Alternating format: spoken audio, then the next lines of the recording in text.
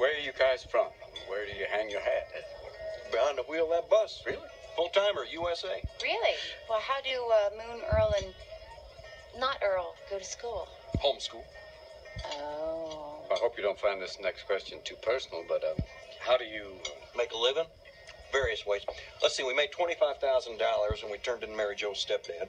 In prison, he's getting the help he needs. Mhm. Oh, and I've almost forgot. Mary Joe makes a living. I mean, earns $60,000 a year without ever leaving that bus. Really? Hooking?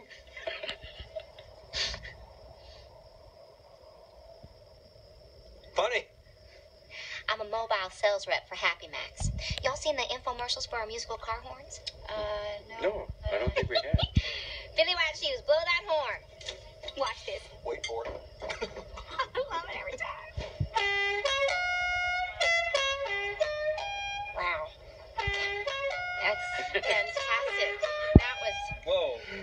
Whoa. Are you a stay-at-home mom?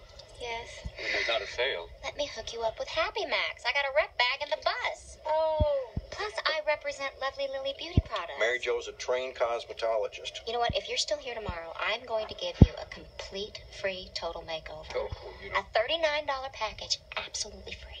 Oh, that'd be good, honey. No. You know what? I'm going to work on you the whole day tomorrow.